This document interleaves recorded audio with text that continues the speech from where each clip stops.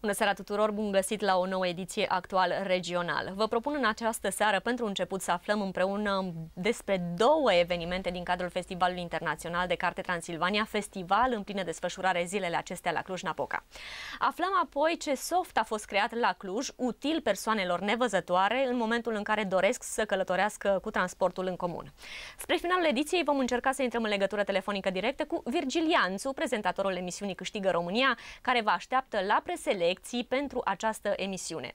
Așadar, rămâneți alături de noi pentru a afla mai multe detalii. Pentru început, urmărim împreună un material realizat de colegii mei la Festivalul Internațional de Carte Transilvania. Mihai Șteț a emigrat în Marea Britanie acum patru ani, lucrează în industria serviciilor, dar a ales să scrie mai ales că s-a inspirat din poemele medievale românești. Scufundarea lui în literatură îl ține mai aproape de casă. A fost invitat la acest eveniment și a venit cu volumul lui de poezii Cântecele vrăjitorului. Am ales să scriu doar pentru că mi-era, îmi venea, îmi venea să scriu, ca, o, ca un impuls natural și um, uh, cumva vroiam să mă întorc acasă. Și asta cred că voi spune și acolo. E, pentru mine e o întoarcere acasă. Alexandra Medra este o altă invitată de onoare. Trăiește la Paris, iar timp de un deceniu a predat limba română pentru studenții străini. Scriu și în limba franceză. În franceză scriu când e vorba de conferințe, în limba română scriu și în fiecare an am publicat câte o carte când mă întorc în România. La festival au venit și istorici din Banatul Sârbesc. Oriunde am merge în lume, noi am zice că, sunt, că suntem români, cu toate că avem pașaport sârbesc. Deci, dacă mergem în America, dacă mergem în Germania, dacă mergem în Australia, noi vom zice că suntem români. Aceasta este una din caracteristicile identității noastre. Leo Budnaru este un poet care trăiește în Chișinău și la o discuție cu omologii lui de peste hotare spune că în anul centenarului România trebuie promovată mai mult din punct de vedere cultural. Unirea a pornit de la conștiință, de la cultură, inteligență, fie ea din folclor, fie de la țară, dar concentrată în carte. Și zic, veniți spre carte. Sâmbătă de la ora 10, cărțile vor prinde glas și asta pentru că organizatorii așteaptă peste 10.000 de oameni care să citească din cele 100 de poeme ale lui Mihai Eminescu.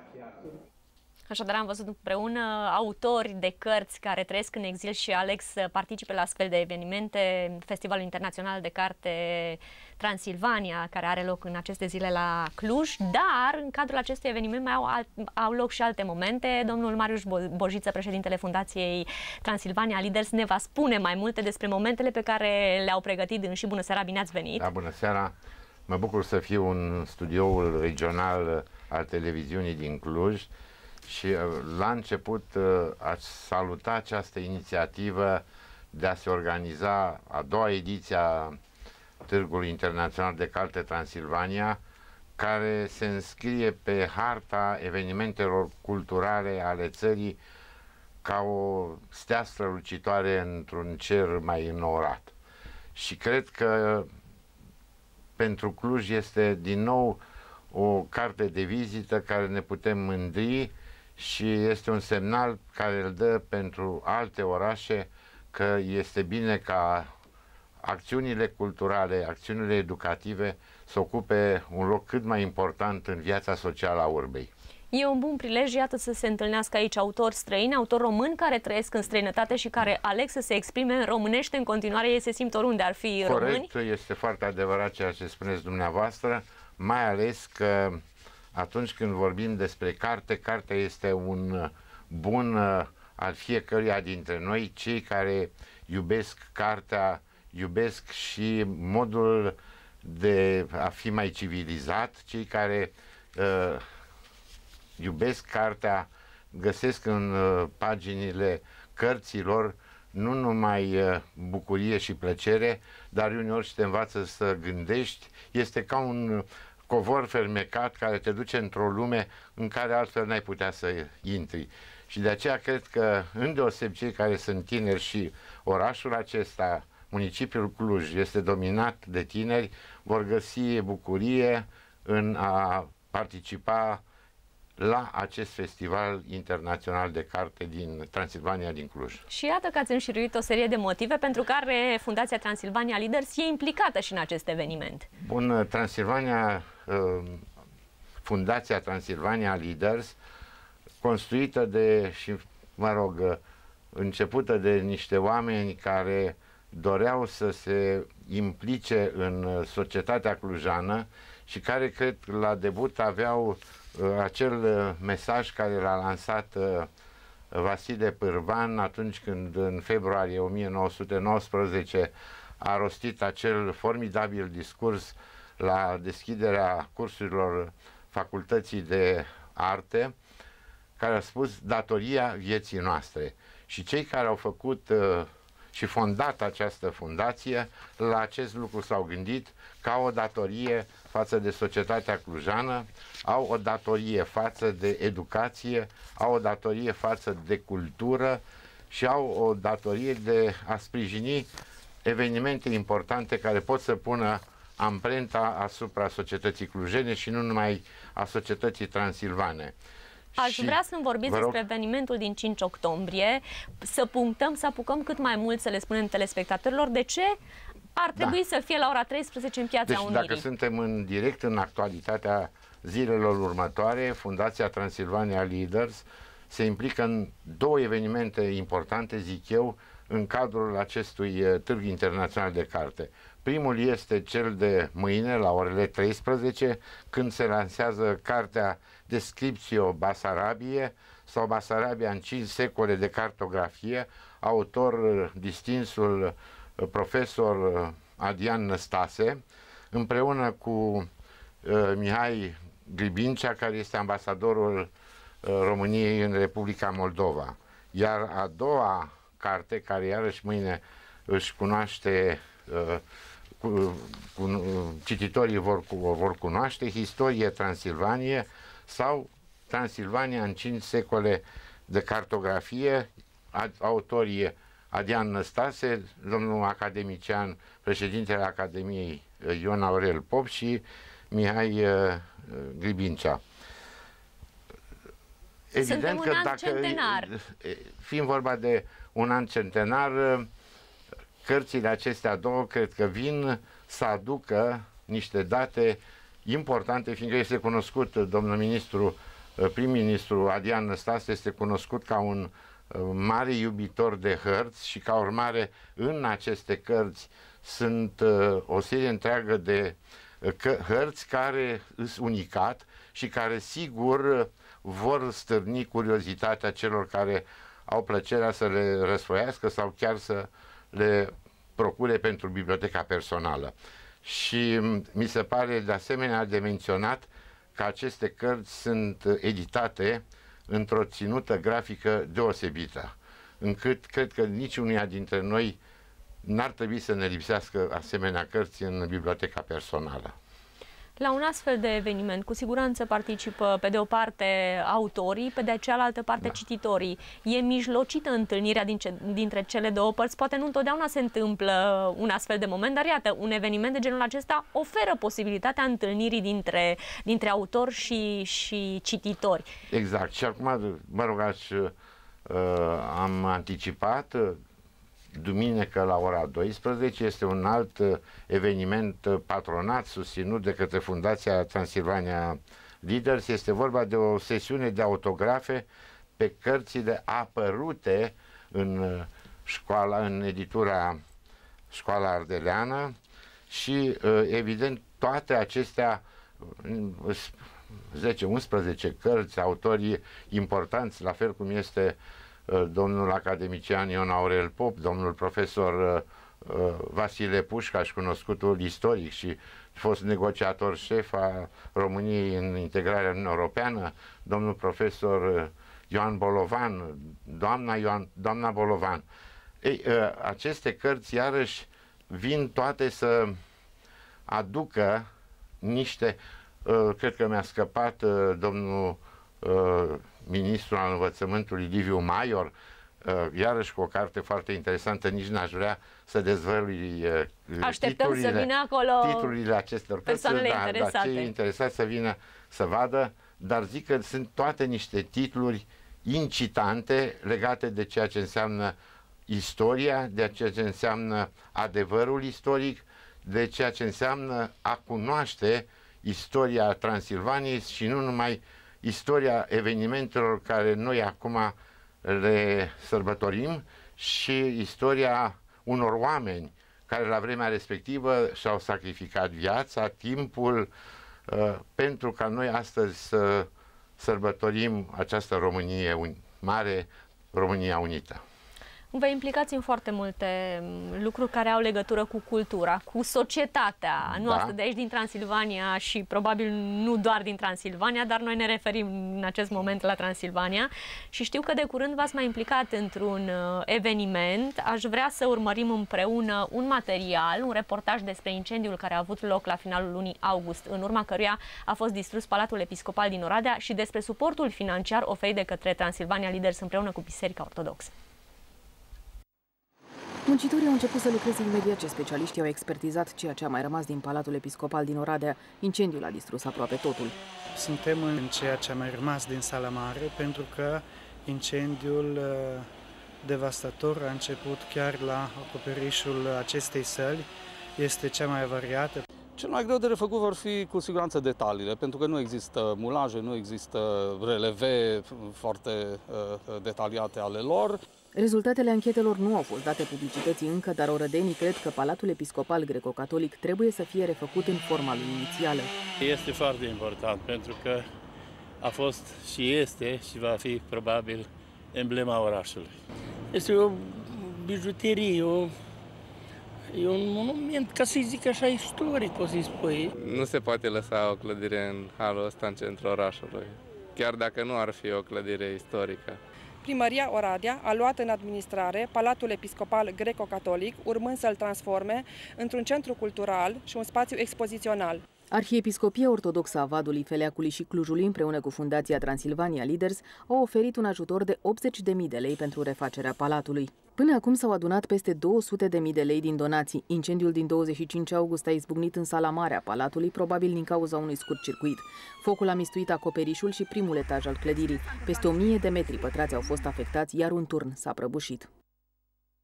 Așa, dar am uh, revăzut oarecum momentele acelea care au avut loc în luna august la Oradea și ce s-a întâmplat cu acea clădire de patrimoniu. V-ați gândit și dumneavoastră să nu rămâneți pasiv la astfel de situație, vorbind de o clădire de patrimoniu, o clădire uh, reprezentativă pentru municipiul Oradea.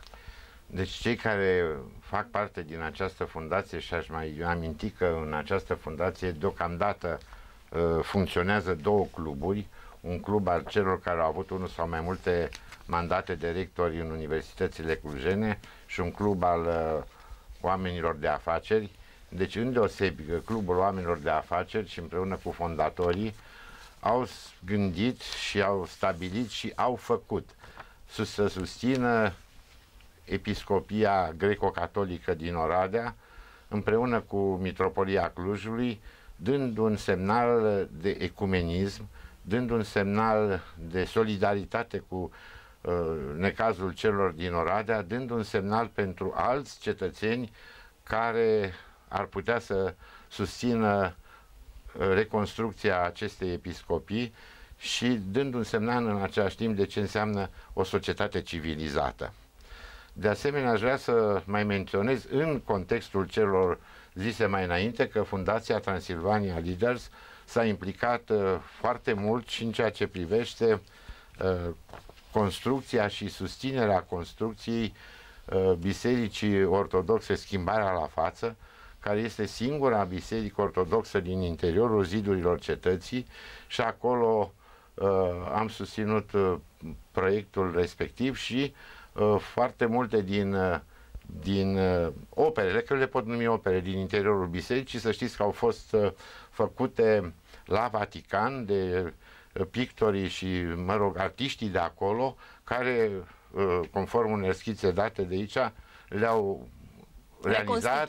Acolo și au venit cu ele și le-au montat, ba mai mult au fost anul trecut, pare mi se, peste 40 de doctoranți și masteranți de la Vatican care au venit și au lucrat la această biserică ca ea să fie terminată la timp pentru a fi sfințită. Deci, uh, este în preocuparea acestei fundații de a susține actele de cultură, actele educative, de a sprijini, avem foarte alte multe proiecte care le-am realizat susținând Institutul Oncologic sau tineri cercetători sportivi care uh, făceau onoare uh, municipiului sau orașului Cluj. Desigur, poate unul dintre uh, evenimentele care nu trebuie să-l ocolim este susținerea Filarmonicii Transilvania, care anul trecut de anul nou a prezentat un concert aici la Cluj, un concert în, uh, la Viena, în sala Music Verhai, acolo unde se ține concertul de anul nou și eu să vă spun uh,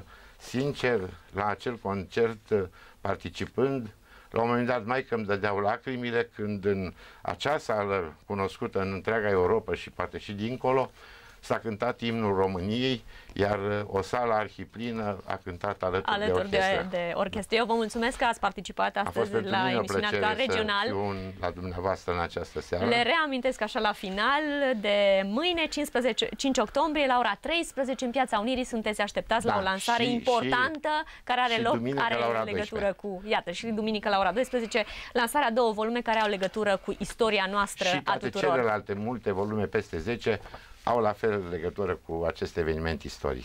Mulțumim pentru participare. Mulțumesc Noi mergem mai eu. departe. Orașul Cluj-Napoca va deveni mult mai accesibil pentru persoanele cu deficiențe de vedere. Oh.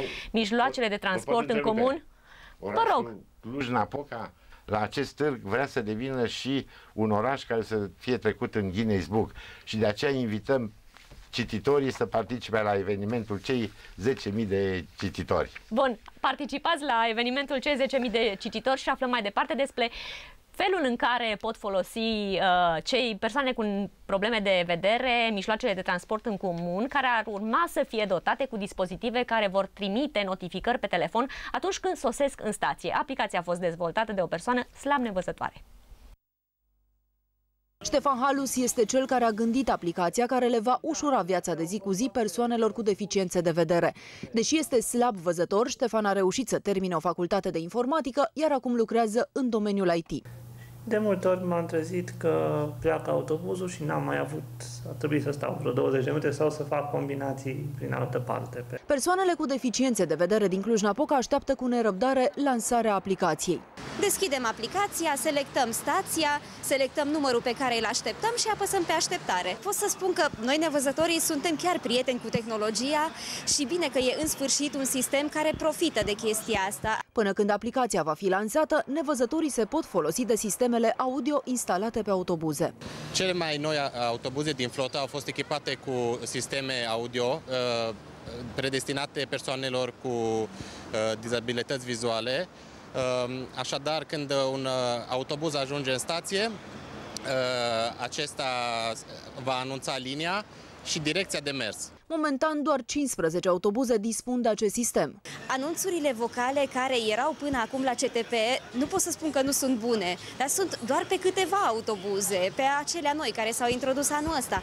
În schimb, în Cluj mai circulă zeci și zeci de autobuze vechi. Și În perioada următoare se va decide dacă aplicația va fi implementată în parteneriat cu cei de la compania de transport public sau se vor căuta alte surse de finanțare.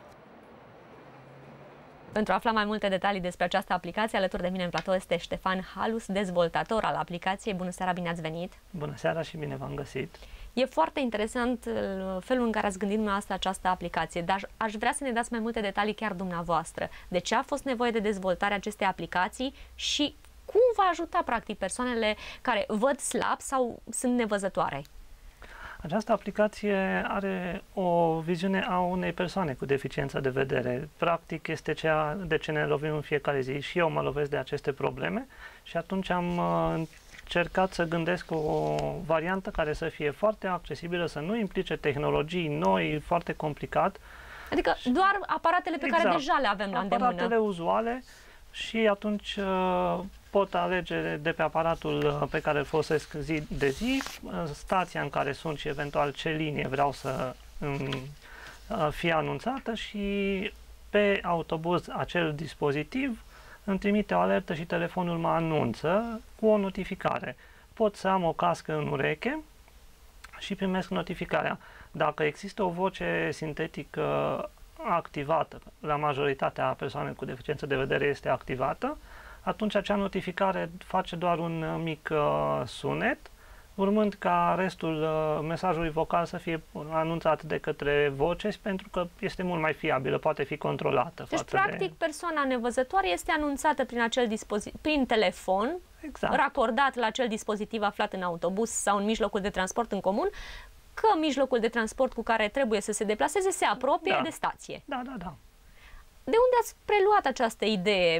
Mi-ați spus că v-ați confruntat și dumneavoastră cu problema aceasta a, a orientării în momentul în care vreți să călătoriți cu mijlocul de transport în comun. Da, se întâmplă pentru că orașul a devenit tot mai aglomerat și s-a întâmplat să vină al doilea sau al treilea autobuz, să fie puțin mai în spate și să nu pot să știu că a venit acel autobuz. Eu văd în principiu, dar nu la așa o distanță. Și atunci am uh, încercat să găsesc o soluție, m-am uitat la protocolul Bluetooth, pentru că este foarte răspândit, am văzut că el până la o distanță de 10 metri este foarte fiabil, am uh, verificat uh, acest dispozitiv Bluetooth Beacon și dacă am văzut că există posibilitatea, am zis hai să încerc să fac o aplicație. Nu va rezolva toată accesibilitatea, nu va schimba totul de mâine dacă reușim să implementăm acest uh, proiect pe toate autobuzele. Dar ai o variantă în care atunci când vine autobuzul, ai o notificare, știi că a ajuns autobuzul. Am avut uh, la testare, chiar colega dumneavoastră, Andreea, a fost și în interviu, a avut o situație aparte că a prins autobuzul de pe direcția opusă, a fost notificat. Erau foarte apropiate stațiile exact. și semnalul a fost un pic uh, bruiat. Ei, aici avem o mică problemă pentru că la CTP sunt niște mici uh, dereglări pentru că sunt softuri noi implementate, încă nu sunt complet finalizate. Știu și... că e în testare oarecum această, exact. această și această idee. aplicația mea, dar și ce fac ei au softuri funcționale pentru monitorizarea GPS, dar uh, softurile noi încă mai fac și ei anumite testări, nu sunt chiar finalizate și atunci nu m-am putut lega, nu era normal să mă leg eu la sistemul electronic sau orice sistem al autobuzului. Am vrut ca ceea ce fac eu să fie absolut independent, să nu încurc pe nimeni, să nu fie ceva, să atragă atenția, să fie ceva discret. Am o cască mică în ureche, aceea pe care de multe ori nu o vede lumea, am telefonul în buzunar și primesc notificarea. Și dacă dispozitivul am nevoie, mic instalat în mijlocul de transport. Da, da, și mai nou, de fapt, uh, dispozitivele autobuzelor cu care pornesc ele pe linie, mi se pare că tocmai acelea ar putea să anunțe ele singure. N-am studiat foarte în detaliu acea posibilitate pentru că nu știu exact ce echipament au.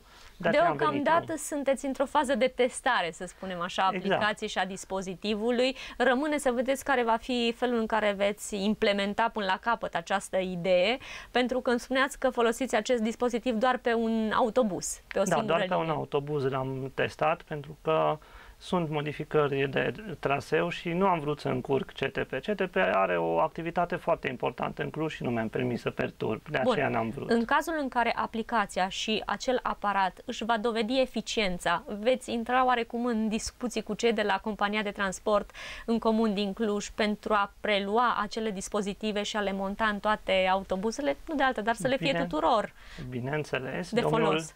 Domnul Lupșa este un om foarte ok și foarte deschis și a fost foarte interesat și bineînțeles, ceea ce am făcut până acum, am și sursele disponibile și le pun la dispoziție. Domnul Lupșa chiar mi-a dat contactul uh, altei firme care a mai lucrat la anunțurile vocale pe cele 15 autobuze și încercăm să colaborăm în așa fel încât să iasă un rezultat frumos, să avem ceva plăcut, util la urmă. Eu tare mi-aș dori pentru că și eu folosesc, în primul rând. Și e, e de, de folos. Eu vă mulțumesc că ați fost alături de noi astăzi. Așteptăm să ne țineți la curent cu ceea ce se întâmplă uh, cu această aplicație, cu acest soft și cu acel uh, device, spunem așa, pe care l-ați instalat într-un singur autobuz deocamdată. Să ne dați feedback-ul, să vedeți cum se descurcă persoanele care îl utilizează, iar după aceea să ne spuneți dacă ați reușit să duceți proiectul mai departe, să-l extindeți la nivelul tuturor mijloacelor de transport în comun din Cluj și de ce nu, poate că prin intermediul nostru văd uh, oameni și din alte localități, alte orașe și poate vă apelează să Poate fi preluat sistemul fie pentru preluat. că e foarte simplu. Nu, nu implică lucruri foarte mari. Deci doar se scrie lista stațiilor și autobuzele care opresc. Bun. Domnule Halus, vă mulțumesc că ați fost alături de noi în continuare. Vă așteptăm și cu alte ocazii să ne mai vorbiți despre această aplicație și așteptăm, așa cum vă spuneam, uh, feedback-ul, uh, felul în care se desfășoară orientarea persoanelor care au nevoie de acest dispozitiv în trafic în mijloacele de transport în comun. Cu mare drag. Vă mulțumesc foarte mult. Așa cum vă spuneam la începutul ediției de astăzi, încercăm să intrăm în legătură telefonică directă cu Virgil Ianțu, prezentatorul emisiunii Câștigă România, aflată la al patrulea sezon, care vă așteaptă la preselecția pentru această emisiune. Bună seara, Virgil! Bună seara, bună seara tuturor! Aș vrea să le transmit telespectatorilor noștri unde și când vor avea posibil, vor putea participa la preselecția pentru acest concurs televizat. Uh, în primul rând vreau să vă spun că sunt foarte bucuros că m-am întors în Cluj, n-am mai fost de ceva vreme și uh, mă simt bine așa, un pic ca acasă, fiind din Timișoara, de obicei cele două orașe au fost rivale, așa cumva, având mai ales în ultima vreme pe dezvoltare, dar uh, mă simt foarte bine aici, sunt întotdeauna un public uh, mișto, un public educat și mă întâlnesc cu plăcere de fiecare dată. Și un public uh, poate potrivit pentru emisiune și, și potrivit pentru emisiune și o perioadă, mă rog, care ar trebui să fie foarte, uh, nu știu așa, pozitivă pentru români, cu un, un semnătate istorică deosebită. Și uh, am zis să începem așa și preselecțiile și întâlnirile cu oamenii, am zis să începem din zona asta, în Alba Iulia voi fi mâine, mâine după amiază spre seară și apoi luni în, uh, în Cluj, uh, voi avea și prezență și pe la unele televiziuni, TVR Cluj, este unul dintre organizatorii acestei uh, întâlniri uh, cu publicul, unde o să mă văd cu oamenii, să stau la dispoziția lor, le povestesc despre câștigă România, răspund la întrebări și sper să fie o întâlnire faină. Așadar, mâine cei care doresc să-și încerce cunoștințele generale vor fi, ar trebui să fie prezenți la Alba Iulia, iar luni la Cluj-Napoca, evenimentul de preselecție, momentul de preselecție va avea loc chiar aici la Casa Radio, unde suntem și noi, în sala de spectacole a instituției și acolo vor fi testați, să vedem dacă își pun la bătaie cunoștințele generale. Da, e, da, acolo, dar nu vrea să se sperie oamenii când ne obligă nimeni, adică în primul rând ne întâlnim și cine își dorește să, să se înscrie poate să facă liniștit, vor fi niște întrebări uh, grilă, vor fi înscris, adică nu o să iau eu la întrebări uh, ca să se sperie, eu știu că se întâmplă asta. Uh, întâlnirea o să fie una relaxată și să, să, să găsim concurenți fani. Chiar am avut parte de concurență extraordinar. Nu vă imaginați ce satisfacție am când uh, întâlnesc cu oameni care știu atâtea lucruri despre România, în special și au o cultură atât de bogată. Avem foarte multe învățat de la asemenea oameni și au avut surprize de la uh, tineri, surprize foarte plăcute. Mai trebuie doar să aibă un pic de curaj, să participe la preselecție și să participe, evident, la emisiune. Da, exact. Eu îi aștept cu drag. Virgil, vorbim de al patrulea sezon. Ce se așteaptă de la acest sezon? Ce aștepți tu de la acest sezon? Noi am început sezonul uh, pe 17 și um, uh, luna trecută și mă bucur uh, iară de o surpriză plăcută. Lumea este alături de, de emisiune, am revenit după pauza din vară și um, am pornit frumos, cum spuneam, și cu concurenți foarte buni. Avem uh, în plus o întrebare pentru primul concurent care normal pleacă fără nimic și avem o întrebare centenar uh, prin care poate să plece cu o sumă 100 de euro. Dar pe lângă acest aspect aștept să eu, sincer, personal și încercăm și echipa să aducem cât mai mulți tineri în, în jurul acestei emisiuni și o să încercăm să găsim, am, de exemplu, am uh, deschis, avem un cont de Facebook, dar am deschis un cont de uh, Instagram unde postăm, uh, facem poze și filmărilor, filmulețe și Insta și tot ce ține de Instagram încercăm să găsim canale de comunicare cât mai pe limba celor tineri și sper să, să fie cât mai repede aproape de câștigă România. Pentru că chiar e, e mișto și ce se întâmplă acolo în emisiune nu e nu e o atmosferă sobră și de asta închizită. Așa ca o, ca o atmosferă de olimpiadă, să-i spunem noi. Nu, nu, nu, da, nu, nu. Atmosfera e cu totul alta, se glumește, concurenții vin un pic speriați, după care se relaxează când văd că nu e cazul de asemenea uh, teamă.